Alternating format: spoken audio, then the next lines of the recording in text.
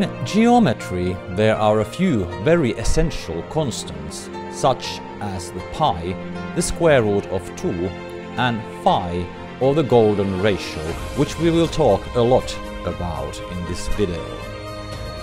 An additional important geometrical ratio is that which resolves the problem of squaring the circle.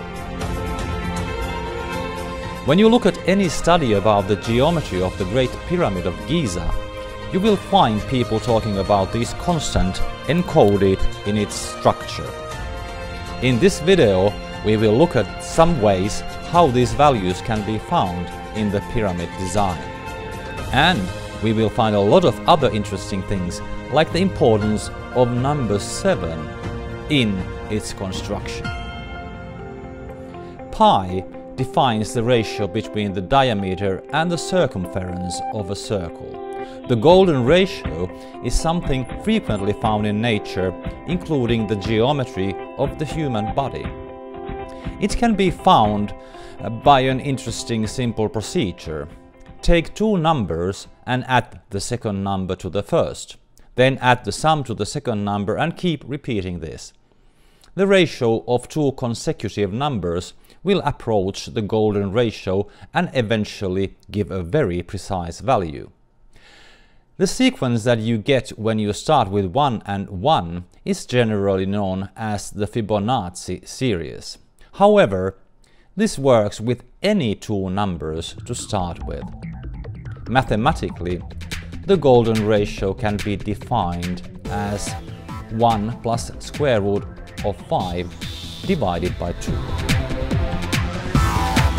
Another important geometrical ratio is the square root of 2 because it defines the diagonal of a square. All these values are somewhat difficult to define accurately without a calculator. They are irrational numbers, which means that they have an infinite number of digits after the integer part. The geometry of the Great Pyramid provides means of finding these crucial ratios as a result of some rather simple geometrical principles. But although it might be quite simple to construct a shape based on these principles in a small scale, it is an amazing achievement to encode these values precisely into a huge structure like the Giza pyramid.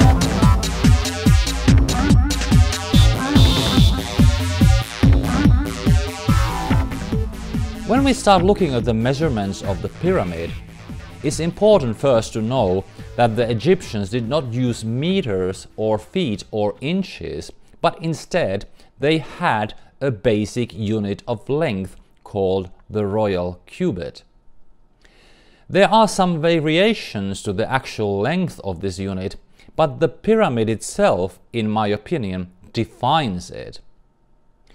And the key to find this is the king's chamber, which is located in the middle of the building, inside of it. The width of this chamber is exactly 128th of the height of the pyramid. What makes this significant is the fact that the cubit was divided into seven palms which again were divided into four fingers each, making a total of 28 divisions.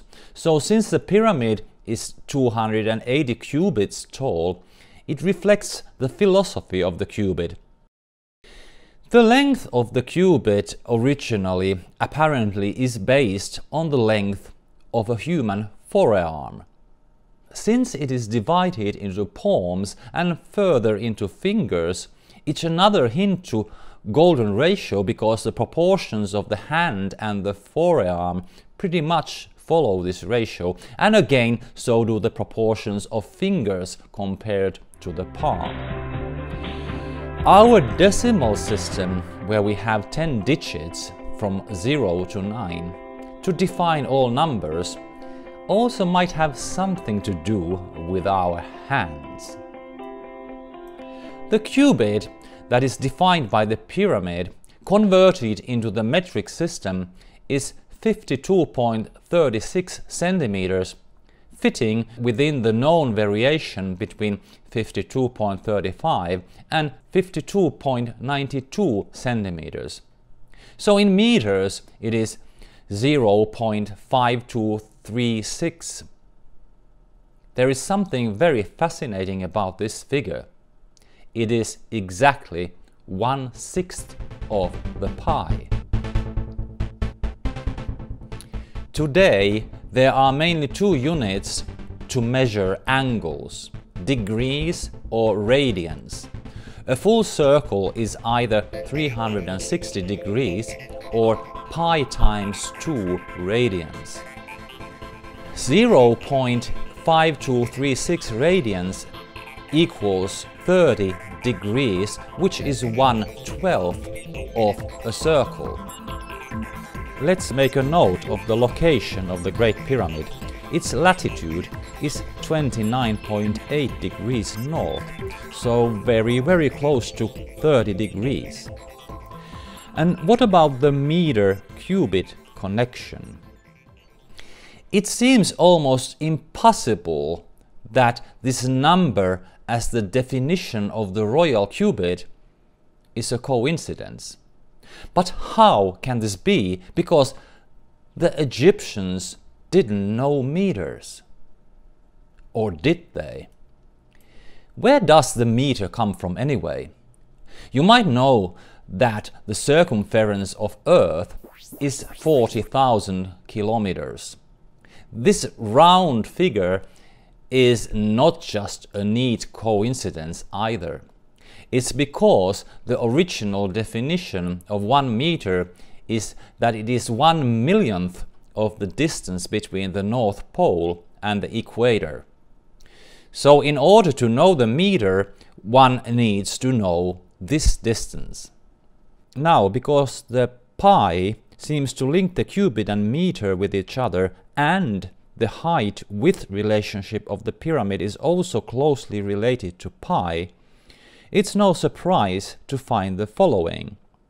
One third of the 440 cubit width is 146.67 cubits, so basically the same as the height in meters.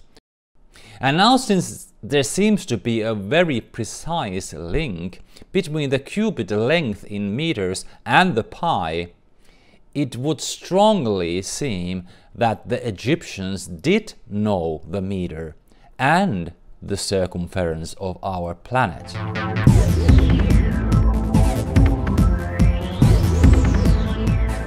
So what are the exact measurements of the Great Pyramid?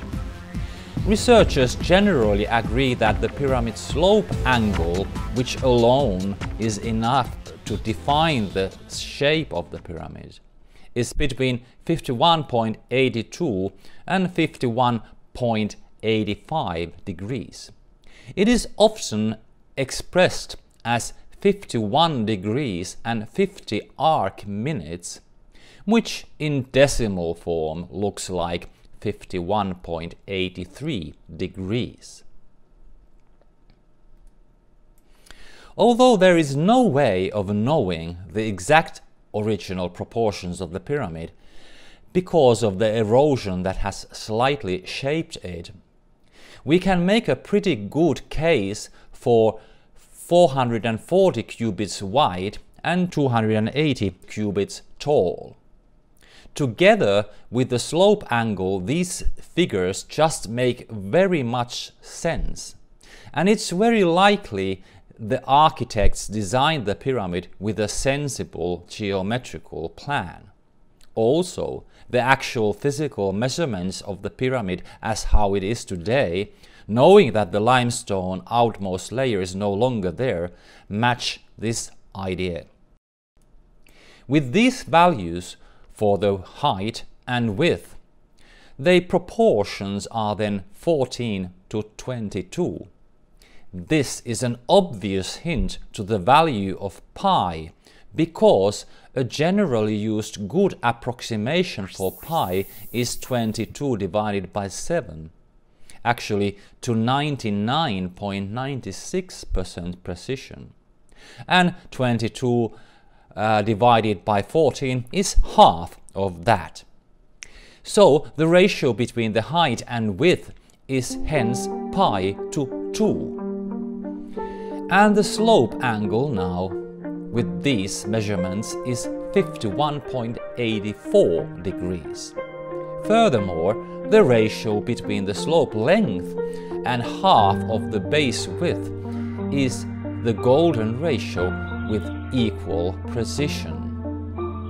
All this seems to indicate that the pyramid designers intentionally wanted to include the values of pi and phi into its geometry. Now, to get an idea of this level of precision, let's draw a circle and then another circle that has a diameter 99.96% of the previous one. If we change the color of the smaller circle into orange, the thin black line around it shows the difference. If the diameter of the black circle was equal to the width of the pyramid, the orange circle would be 9 centimeters smaller in diameter. And when you think the pyramid is almost a quarter of a kilometer wide, this is a pretty high precision. It would seem reasonable then that the architects chose 14 to 22 as the blueprint for the pyramid proportions. But yet, there is another way of looking at this. You see, when you use the 14 to 22 as the starting point, you will find out that the diagonal triangle of the pyramid has the proportions 9 to 10 in 99.99% accuracy. And actually, in this video, we will build the pyramid based on this 9 to 10 ratio. There is a particular reason to go for that. A traditional mathematical problem is that of squaring the circle. How do you produce a square that has the same perimeter as the circle? If you know the value of pi, this can be easily calculated. But if you don't, a simple way to crack this is to make a square with a diagonal radius of 10 units. Then the radius of a circle which has the same perimeter as the square is 9 and this again works in 99.96% accuracy. So now a little bit more detailed information for you mathematically oriented people. The formula to calculate the approximation of pi based on the previous observation is 20 times square root of 2 divided by 9 which gives us the value 3.1427. Another very interesting thing is that when the half diagonal of the square is 10, the full diagonal is then 20, the width of the pyramid side is then 10 times the square root of 2, which incidentally equals to 11 plus pi. The value of pi you get from here is 3.142 and its precision is a whopping 99.98%, so clearly better than 22 divided by 7.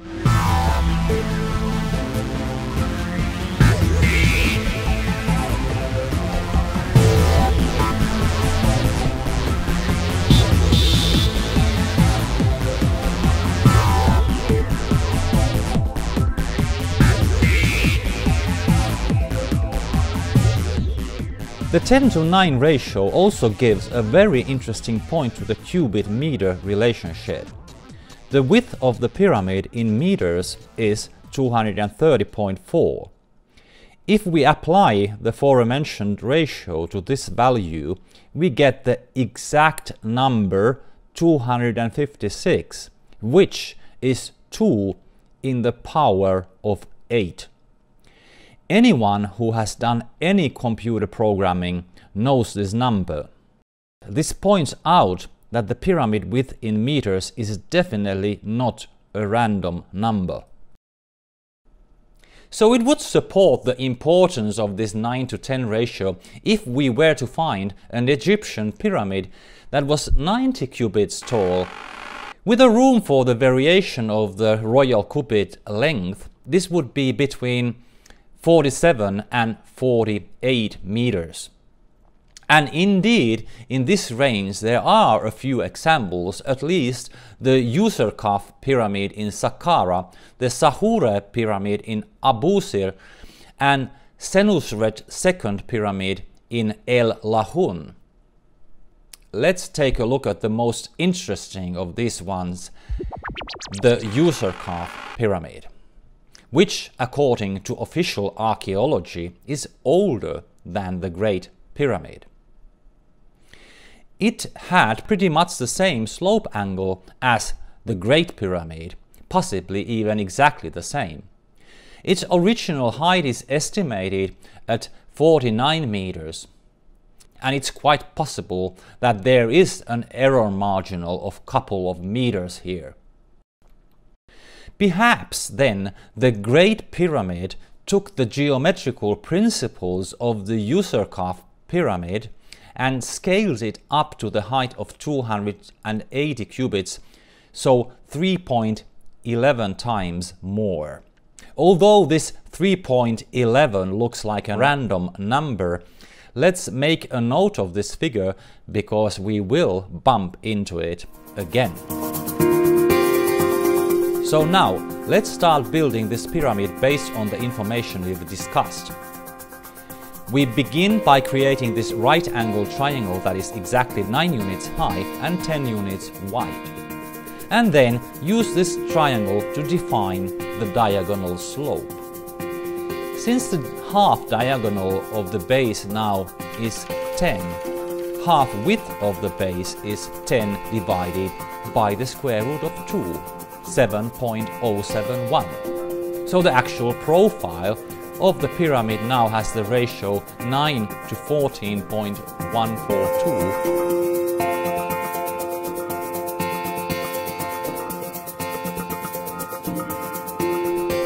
To make this work in integers, we can multiply all the values by 14. Uh, the proportions will then stay the same. The height now becomes 126. The half diagonal 140 and the half width 99.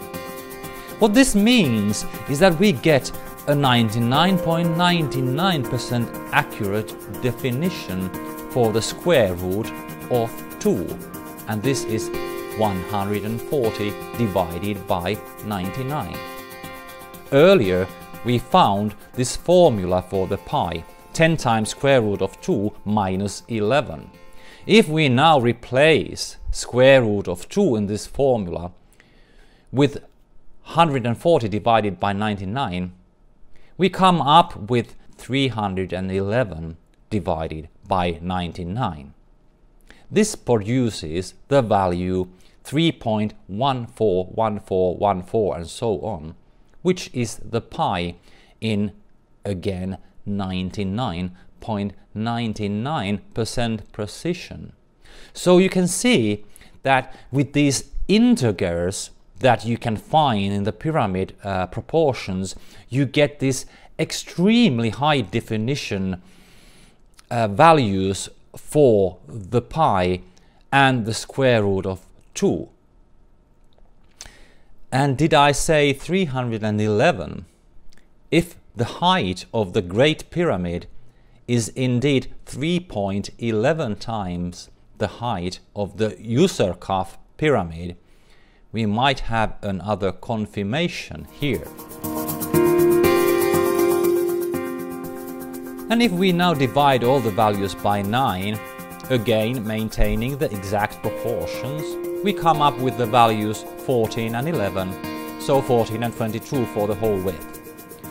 We go full circle back to the original proportions. So, whether we build the pyramid based on a 14 to 11 frontal ratio or 9 to 10 diagonal ratio, it doesn't make any practical difference.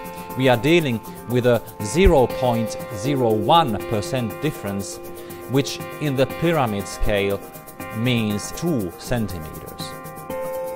What is also very interesting is that both the 10 to 9 diagonal ratio and 14 to 11 frontal ratio proportions are encoded in the definition of square root of 2.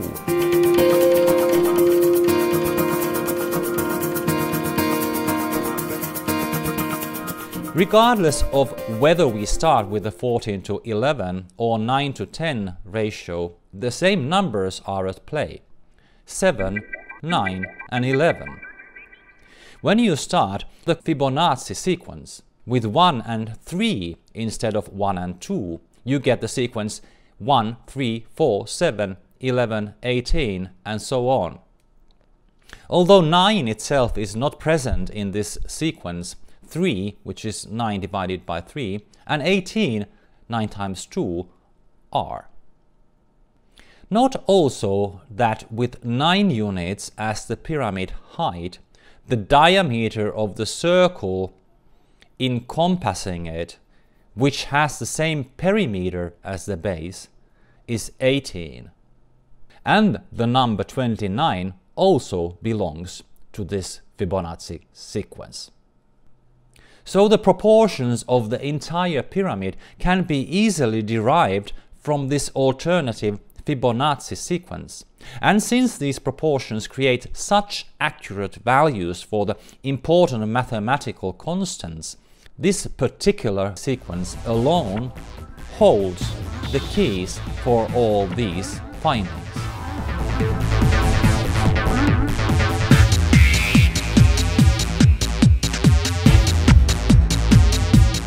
Let's make a bit of a leap somewhere totally else, just for fun. In the book of Revelation, the width and length of Holy City or the New Jerusalem is measured as 12,000 stadia, which means 1,500 miles. Also, it says for each of the four sides there are three gates. This might mean that the four sides are triangle shaped, and then this would be a description of a pyramid.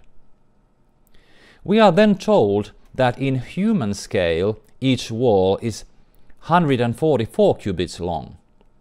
The perimeter of the pyramid would hence be 576. It's difficult to say for sure why we have this 1500 miles in angel scale but 144 cubits in human scale. But if we take this 576 as a multiplier for the miles, we get 864,000 miles. It is generally stated that this is the diameter of the Sun. This would suggest that the holy city described by St. John has a strong connection to the Sun. We can leave this to speculation, but nevertheless 864 is an interesting figure. The Egyptians seem to like dividing measures with 7.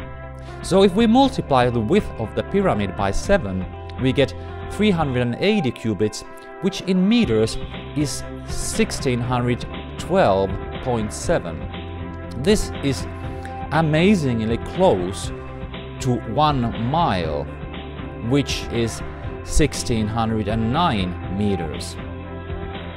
Maybe this indicates that the Egyptians knew the mile as well as the meter. But actually, the current information is that the Sun's diameter is slightly more than 865,000 miles. But if instead of the current definition of one mile, we use this 1612.7 meters, uh, an Egyptian royal mile if you like, then 864,000 miles is the diameter of the Sun 99.9% correct.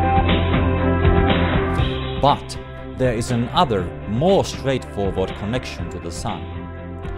The shortest distance between the Earth and the Sun, the perihelion, is 280 billion cubits in 99.7% accuracy, so billion times the height of the pyramid. And to complete this, if you calculate the area of the pyramid base in cubits and multiply this value with 1.5 million, you get the aphelion, which is the max distance between the Sun and the Earth, and again in 99.7% accuracy. One thing that is also often noted is that squaring the circle, which works so beautifully for the pyramid, also points out the relationship between the diameters of the Earth and the Moon.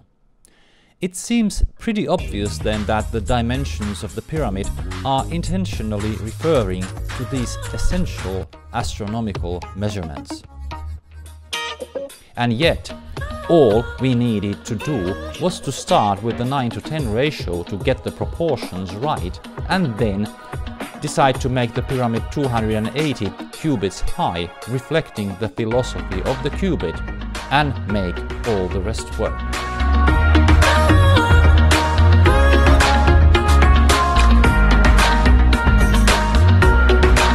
Now that your head is really messed up with all these numbers, let's try to clarify things a bit with a little demonstration.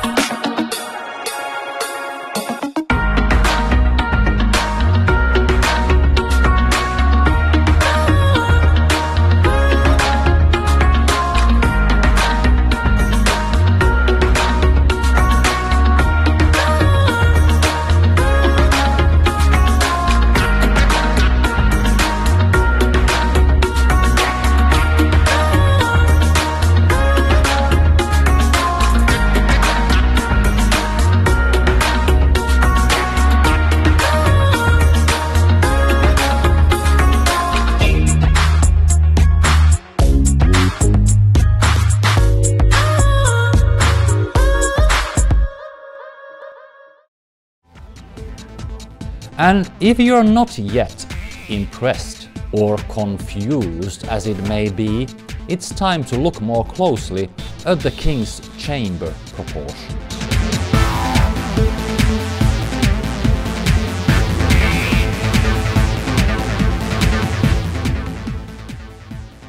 Now, if we take the absolute size of the pyramid in cubits, the height being 280 cubits the half diagonal based on the 9 to 10 proportion is 311.11 cubits. This provides an amazing link to the king's chamber. You see, when we slice the pyramid horizontally, at an altitude where the width of the pyramid is 311.11 cubits, that altitude is with very high accuracy the altitude where the king's chamber floor is actually positioned. An additional conclusion of this is that the area of the sliced pyramid's base is exactly half of the area of the entire pyramid's base. So obviously the location of the king's chamber is not random at all. And this is the third time we bump into this number 311. The length of the chamber is 20 cubits, its width is 10 and height 11.18 cubits. After what was just said about the Fibonacci series, these numbers 11 and 18 really hit you in the face. The length of the chamber is twice its width but what is more interesting is the ratio between the width and the height, which is very exactly square root of 5 divided by 2. Since the golden ratio is square root of 5 plus 1 divided by 2, obviously there is a relationship here. And where does that height come from? The answer to that question becomes apparent when we look at the proportions of the chamber as 4 to 2. When you make the diagonal of the gable 3 units long, you come up with that specific height. The most amazing thing here is, however, the fact that now the diagonal drawn inside the chamber between opposite corners is exactly 5 units. Here we now have the 3, 4, 5 right-angled triangle, which is where the Pythagorean theorem is derived from. But wait a minute, the pyramid was obviously built a lot before Pythagoras. So who should we actually credit for the special qualities of this triangle. Since the absolute height of the king's chamber is 11.18 cubits, adding exactly 5 cubits to that gives us 16.18 cubits, which is accurately 10 times the golden ratio. Reducing exactly 5 cubits from the height ends up to 6.18 and that is 10 divided by the golden ratio. The proportions of the chamber are far too precise to be accidental.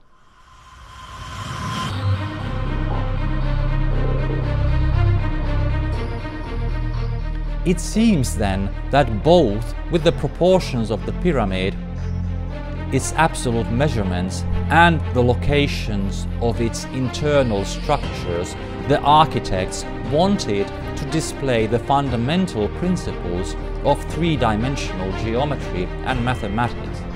But why? Was it just meant to be a demonstration of their science for the future generations? Or was it their way of appreciating the geometry of the divine principles a kind of a religious act? Or did they actually find that making a building with these geometrical proportions had some practical meanings?